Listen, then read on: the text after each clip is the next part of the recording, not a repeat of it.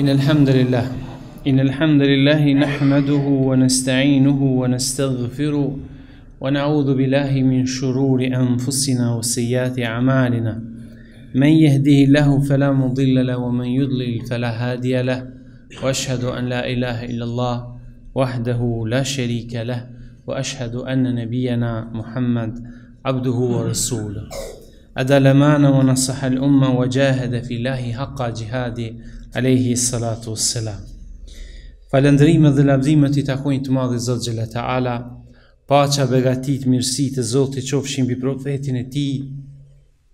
mbi familjen, mbi shokët dhe mbi gjithë ndjekësit e tij deri në kiamet. Vëllezër besimtarë, sot do të mësojmë për një mësim që na ka mësu feja jonë dhe që ka qenë traditë e profetit Muhammed sallallahu aleyhi wasallam. Pastaj na ka porosit që muslimanin mos ta zë gjumi pa e kry këtë amanet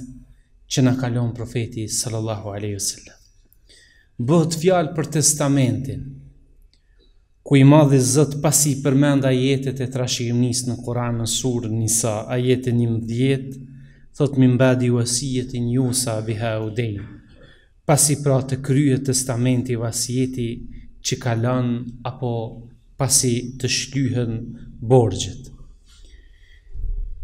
Testamenti është lidhje e cila e lidh të vdekurin me atë që ka qenë gjatë jetës së tij, por dhe pas vdekjes. Ai është i vlefshëm, pra testamenti vlen, është valid për të rriturin për fëmijën, për burrin apo gruan. Testamenti është traditë profetike e Muhammedit sallallahu aleyhi wasallam dhe është i obligueshëm, obligohemi në zbatimin e tij në rast se mbrenda tij ka pra të drejtat njerëzore. Testamenti nuk është i ligjshëm nëse i lihet një trashëgimtari. Asnjëherë. Përveç nëse të gjithë trashëgimtarët tjerë kanë dhënë ujdi.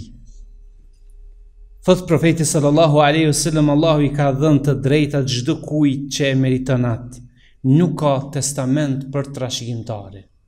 Pra baba në këtë rast nuk guxon t'i lënë testament njërit prej djemve të tij pa marrë leje dhe pëlqimin e të tjerëve. Tjetër për testamentin është i pëlqyeshëm që t'u lihet të afërmve ngase pejgamberi sallallahu alaihi wasallam kishte urdhëruar Omer ibn al-Khattabin dhe Ebu Talhan që në që në testamentin e tyre pra t'ua lënë njerëzve të afër dhe të varfër.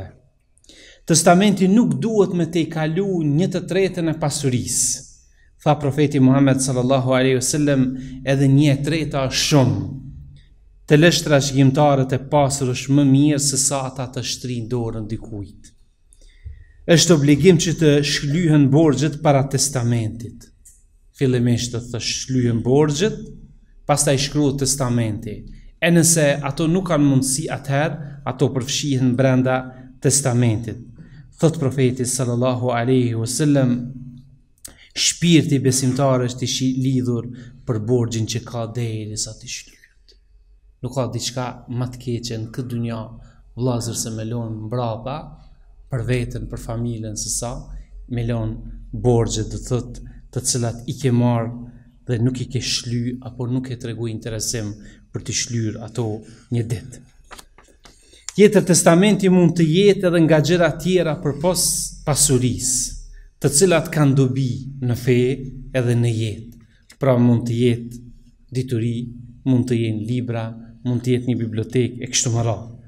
Lënësi i testamentit mund të ndryshojë testamentin përderisa është gjallë, apo të anulojë atë pasi të ketë shkruar. Të shkruarit e testamentit është i ligjshëm, siç transmeton Abdullah ibn Omeri, ku pejgamberi i Zotit Muhammedi sallallahu alejhi ue selem ka thonë, nuk i takon një besimtari që posedon diçka për ta lënë testament, që të flejë dy net e të mos ketë të shkruar testamentin e tij. sahabët i shkruanin testamentet e tyre çdo herë. Kështu ka vazhdu kjo traditë dhe vazhdon ende që muslimani t'i shkruajë testamentet e tyre në muslimin e kohës në muslimin e fatit asgjë. Një testament mundet kur e merr njeriu një letër të bardhë, një laps në dorë, fillon me bismillah dhe me falënderim ndaj Zotit. Do thotë këtë testament ua lë, Nëse është gruaja gjallë ua lë gruas. Nëse janë fëmijët gjallë, do me ia lënë fëmijëve emanet këtë testament, i përmend me emër. Unë dëshmoj, pastaj fillon, unë dëshmoj thotë dhe në të adhuruarit e Zotit është mirë preferohet të shkruhet shahadeti, pastaj i lë disa porosi.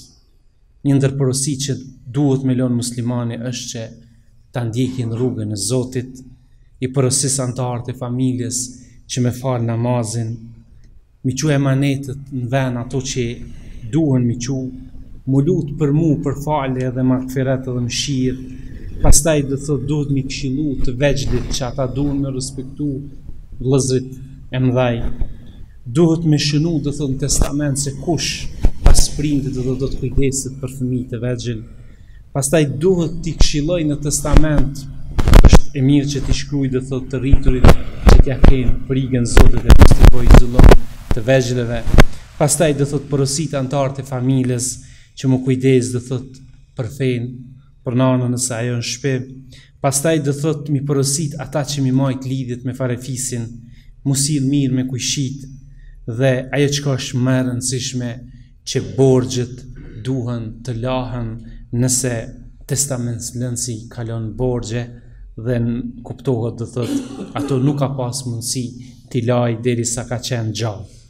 Në fund të testamentin shkruhen të gjitha borxhet, borxhet që ua kam të tjerëve të cilat patjetër duhen të shlyhen janë si vijon një dy tre. Borxhet që më kanë të tjerët mua borxh, janë një dy tre dhe kam lënë testament nga pasuria ime si vijon dhe e shkruan gjithçka